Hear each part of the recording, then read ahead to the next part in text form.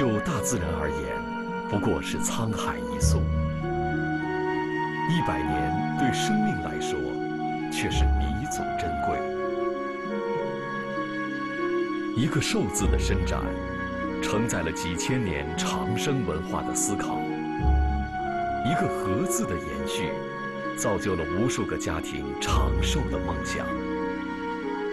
人和者寿，一直是中国人对寿命长短的一种认知。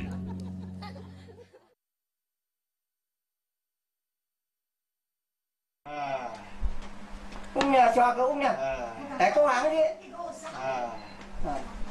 来工行去。家住中国长寿之乡海南省澄迈县的李瑞香，今年已经一百零一岁了。很多年前。她因为白内障导致双眼失明，从那时起，李瑞香的生活就全靠丈夫吴丕模来照顾。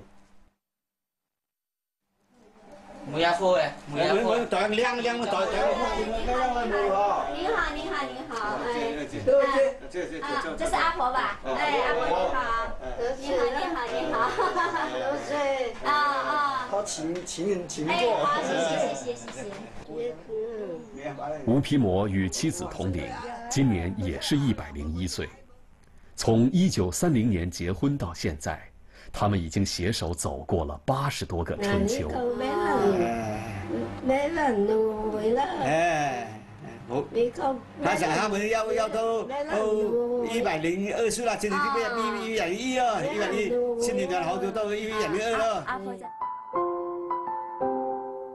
吴丕模和李瑞香有七个儿女，但两位老人不愿给孩子们增加负担，选择自己单独居住。孩子们只好不时过来探望一下老人。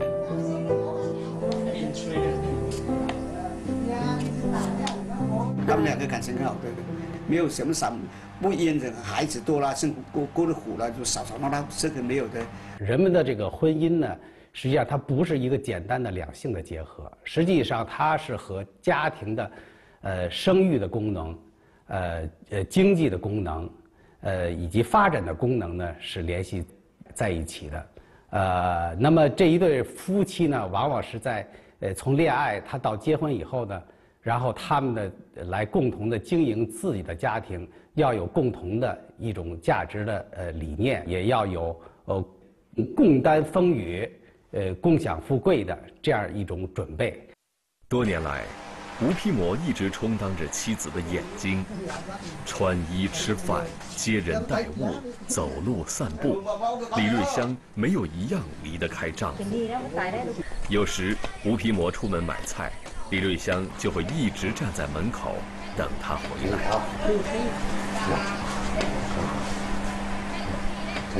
尽管生活中有诸多不便，但老两口始终恩爱和睦。与周围街坊四邻也相处融洽。马喵喵就可以弄搞大了。从小孩就看着 看着看着看着看着他们了。哦，他们俩就都很爱是吧？喵喵啊，不光是对家里人好，对左邻右舍的人都好。啊。人们普遍认为，家庭和睦、社会和谐是可以给人增寿的。哦。吴丕模和李瑞香之所以长寿，难道是因为他们家庭和睦、社会人际关系和谐的缘故吗？有可以回答不？在中国人看来，“和”是协调、和谐的意思。古时候，人们把天地人之道归于一个“和”字。老子说。万物负阴而抱阳，充气以为和。认为和气是天地间阴气与阳气交合而成之气，万物皆由和气而生。人的长寿之道也蕴含其中。人们相信，和能带给生命信心和勇气。能战胜自然灾害，平息人类纷争，让生活变得和谐兴旺。因此，历史上很多部族都会把对和的希望寄托在自己崇拜的图腾中。中国云南省普洱市的翁基古寨，是一个傣族、布朗族和拉祜族多民族聚居的村寨。这里古树参天，竹楼相连，优美的环境里生活着不少长寿老。大呀，我漂亮！漂亮！不香了。大姐，大姐你好。大姐你好。哎呦，不是大姐，哎呀，是大姐，是阿婆。阿婆呀，阿婆你好，阿婆你好，来我问问你，您多大岁数了？是二十八。七十。七十八。七十八了，为什么穿这么漂亮啊？这个漂亮。这位七十八岁的阿婆叫妮比，虽然她不能完全听懂我们的话，但是还是连笔带画的告诉我们，今天是寨子里祭祀寨新的日子，大家都在为祭祀做着准备。道尔炳是这个寨子里最年长的老人，今年九十九岁。村里的人除了十分羡慕他的长寿以外，对老人还非常敬重，因为老人是翁基古寨寨新的创立者之一。以前这个这个寨子这个呃呃刘老嘛，就是他姓谢的嘛，他就是说的。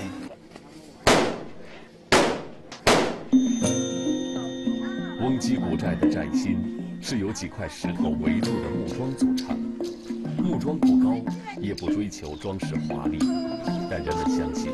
寨心具有某种神奇的生命力，与人的寿命紧密相连。古人崇拜自然，大多是被自然的力量所折服。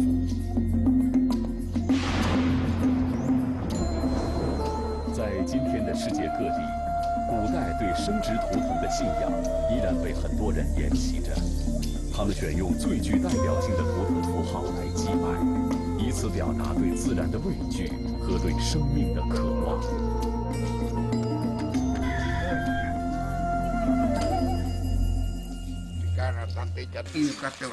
翁基古寨的人们认为，寨子里德高望重的老人能通过寨心祈求神灵庇护族人。寨子里人口的兴旺、老人的长寿，都是人们虔诚祭拜的最好体现。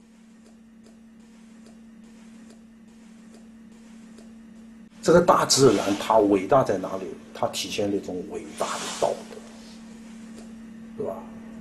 这个《周易》里面讲，这个这个天地它最大的德就是生养万物啊，生生不息啊。所以我们古人经常是从自然里面来找到的，所以我们人应该学这种道德，这个人的德跟天的德是合一的。从某种意义上说，善心具有规范人们德行的作用。人们相信，只有尊敬长辈、和善待人，才能使自己的寿命得到延长。啊啊，还是老带文的。经啊，还是什么呀？哦，样样都够学这个。啊，个有有什么作用啊？哎，我们年纪我们考试考在身体健康，就是。能强一点了嘛？对自然的崇拜是远古先民精神生活的重要组成部分，而对生命现象的探究却是中国古代哲学家们的思考命题。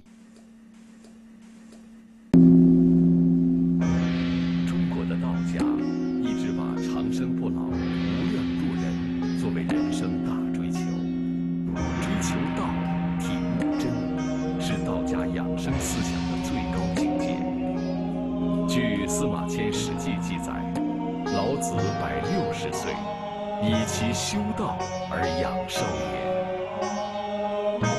英国李约瑟博士在中国科学技术史中写道：“道家思想从一开始就有长生不老的概念，而世界上其他国家没有这方面的例子。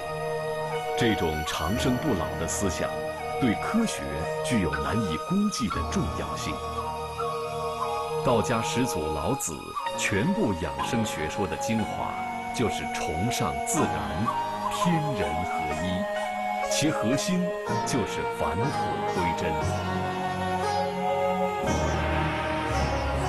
千百年来，崇尚道家思想，过简单自然的生活，一直是中国文人的一种选择。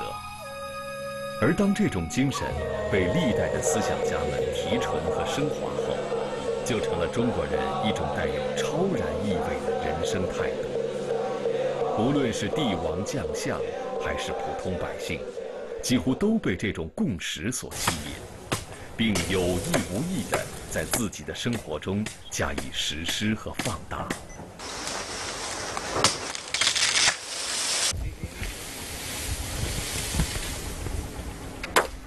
一百零五岁的长寿老人邱佑全，家住中国广西的昭平县。虽然年事已高，但他还是每天都要上山砍竹子，回来编竹筐。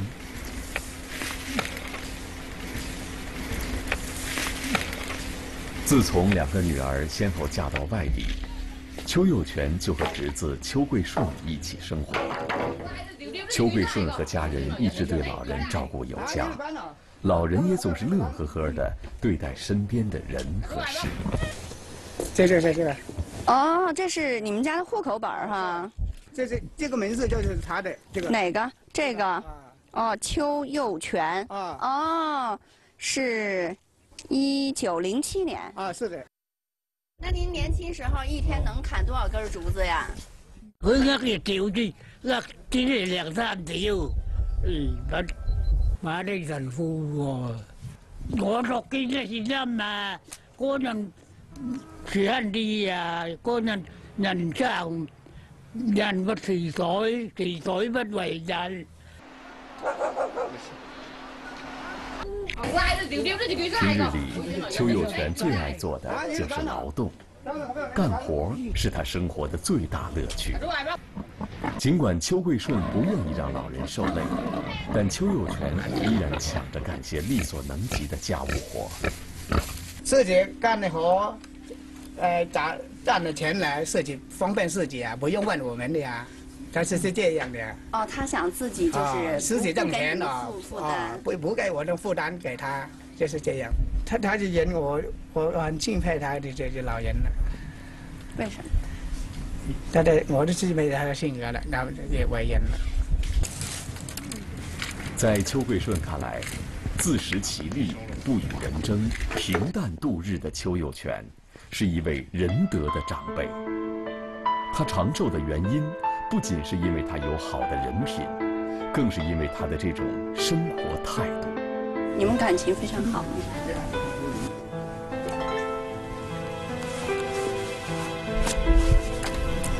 我我希望他长寿一些，陪我们。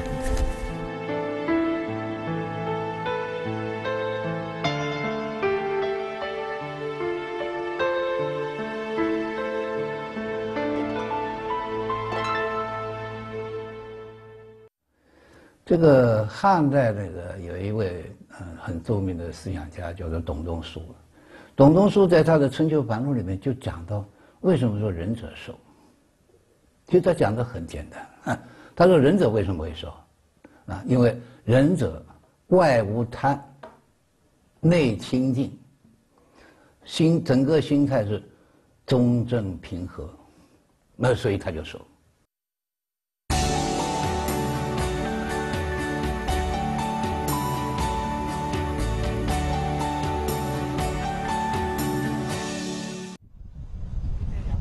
二零一一年农历十月初六，已是深秋。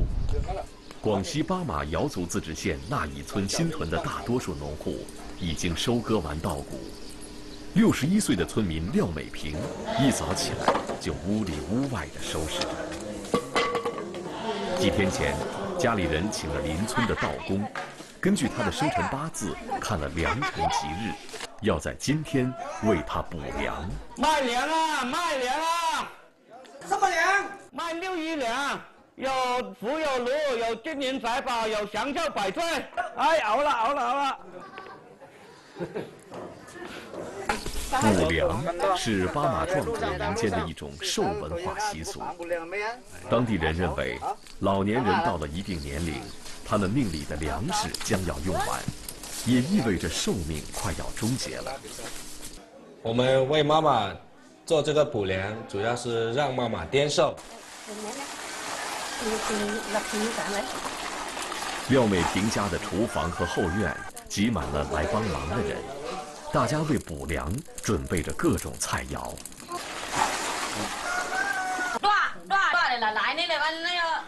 花米饭的做法是用树叶等植物做染料，把米染成红、黄、黑等各种颜色，放到锅里蒸熟，表示粮食丰足，而且品种繁多，是祈愿人寿年丰的传统做法。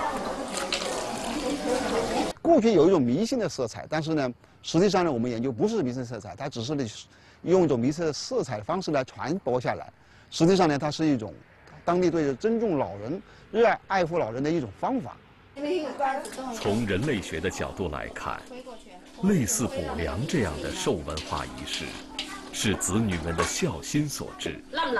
他让尊老敬老的传统得到进一步强化。而从社会学的角度来说，这种存在于人们日常行为中的尊敬孝顺之风，会对后辈。产生潜移默化的影响。善待老人呢，这是一种美德。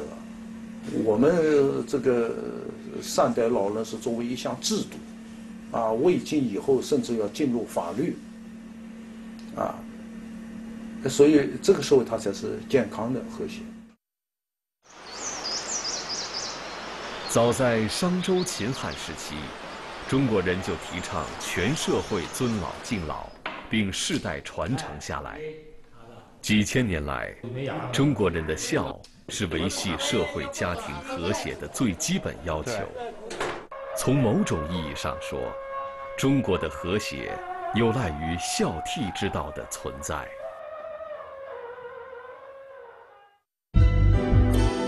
孝，是儒家重要的伦理概念。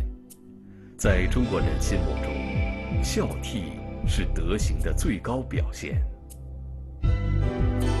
西晋时，从小由祖母刘氏抚养长大的彭山人李密，当祖母有病时，他夜里衣不解带地侍候祖母。平时的饭菜汤药，他总要尝过之后才端给祖母服用。为了祖母，李密写下一篇陈情表，不惧朝廷为官。由此成为中国孝道文化的一个典范。对孝的延伸，啊，就是，啊，对于父母，对于自己的祖先，对于整个社会的，甚至于每一个人，因为一个人在这个历，在这个社会上生存，不可能只靠自己。那这个社会都是互相帮衬的，你离不开我，我也离不开你的。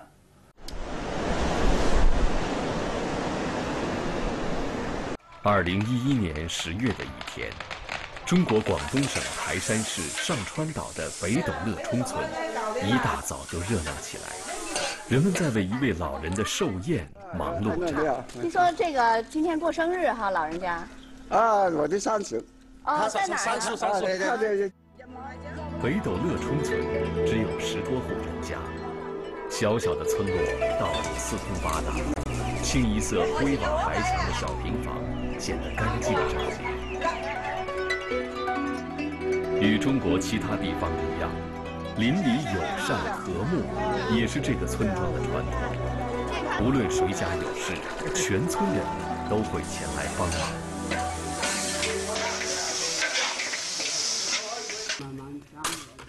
今天的寿星是八十一岁的李成富老人，他还有两个哥哥，九十四岁的大哥李成春。和九十二岁的二哥李成基。您多多少岁？你讲我几多岁？阿阿阿爸，阿爸哥们几多岁啊？你几多岁啊？六岁。啊九十四。兄弟三人感情很好，从来没有红过脸，遇到问题总是相互商量。你家个就讲讲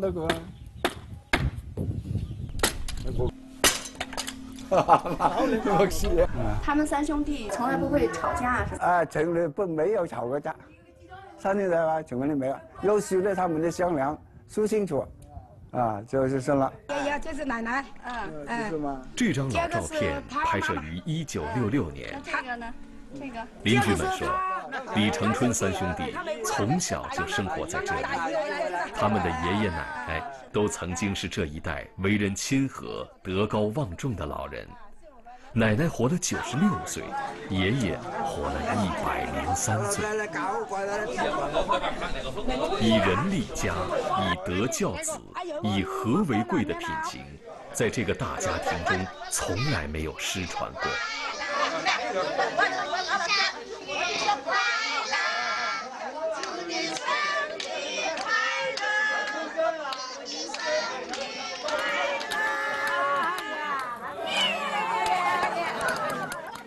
所有的这些和谐呢，实际上它是营造了一个，呃，相互关爱，呃，相互支持的这样一种氛围。那么在这种相互关爱和相互支持的氛围当中呢，体现了尊老敬老，呃，求同存异，呃的这样一种价值的呃理念。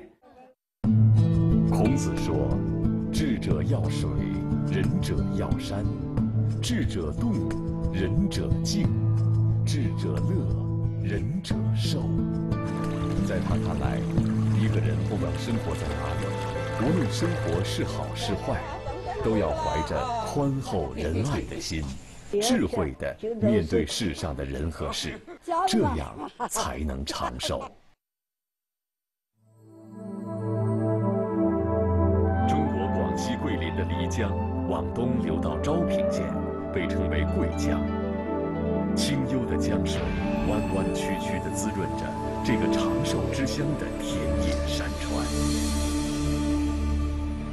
已经一百零五岁高龄、五世同堂的冯义清老人，就住在昭平县城的老街上。年轻时，冯义清受过不少苦，十九岁嫁人，与丈夫生育了四个儿女。二十九岁那年。丈夫就不幸去世了，冯义清孤身一人，既要照顾生病的婆母，又要养育四个未成年的儿女，家里经常揭不开锅。没没没有吃，这是自己去找找生活，找到找找多的只要多。生活的磨难没有压倒冯义清，相反，他总能乐观包容地直视人生。当儿女们长大成人后，冯义清又先后到南宁、沈阳等地帮助他们照看孩子。每到一个地方，他都会主动去适应陌生的环境，也总是能交到很多朋友。对于冯义清来说，正直仁爱是他的做人准则。这样简单，我一样坏事我都不做过。一样坏事都没做过。我都不怕，我没做过坏事，不怕的，好放心。《论语·子罕》中说：“智者不惑，仁者不忧。”勇者不惧，也许正是这种乐观豁达的生活态度，包容宽厚的善良心胸，让冯一清坦然地度过了百年春秋。其实就是打开你的心胸，啊，我刚才我讲的广大，你心胸广大，是吧？呃，一个仁者他是有包容，对别人的尊重。啊，以一种平和的心态对待自己的问题。呃，如果用佛教的一句话来讲，就是一个仁者的话，他就心无挂碍。孔子说：“仁者爱人，仁者是仁爱、仁厚、仁义的人。大德必得其寿。”说的是胸怀宽阔、充满爱心的人，一般都会长寿。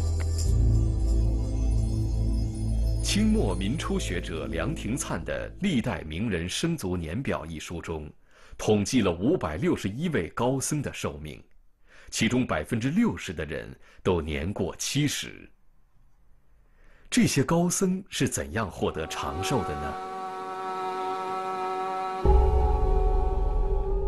二零一二年四月，高僧释本焕在深圳弘法寺圆寂。此前，他刚度过一百零五岁的生日。本焕长老一九三零年出家，是南禅临济宗临济法派第四十四代传人。在八十多年的佛门生涯中，经历过许多战乱和生活的磨难，但他始终乐观淡泊。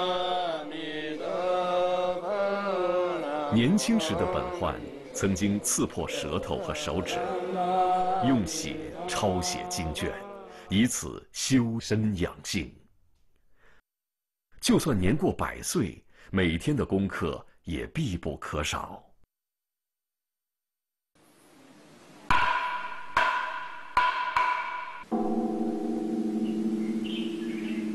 早上四点十八分起床。夜晚九点钟睡觉，天天如是，一天二十四小时，除了九个钟头，还有十五个十五个钟头，这十五个钟头就是我用功的时间。一百零五岁高龄的本焕长老，每天要接待数以百计的来访客，在别人看来，实在是劳心劳力。但长老说，他是身累心不累。与自己的师傅活了一百二十岁的虚云老和尚相比，自己还只是个小和尚。小 baby，一百岁的小 baby，一百岁的小 baby，现在六岁了，六岁了。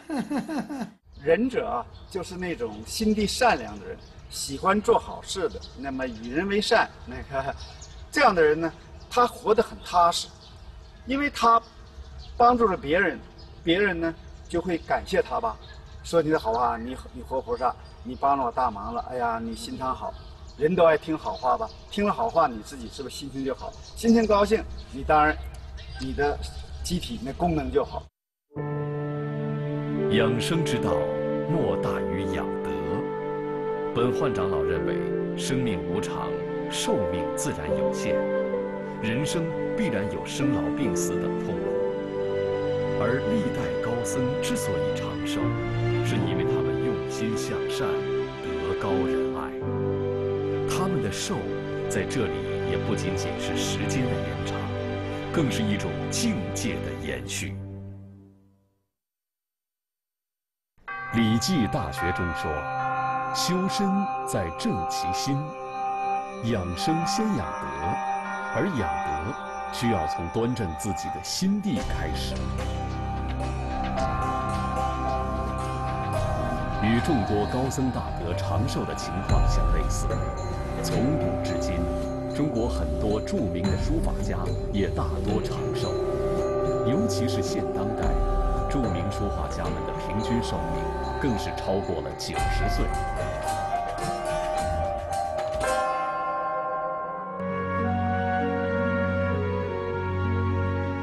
虽然时代在不断的发展变化着，但随时间河流沉淀下来的中国传统文化，依然与人、和、德、寿分不开。它广泛的作用于人们的日常心理、生活习俗、行为模式。和人际活动等诸多方面，并以各种不同的形态延续和传承着。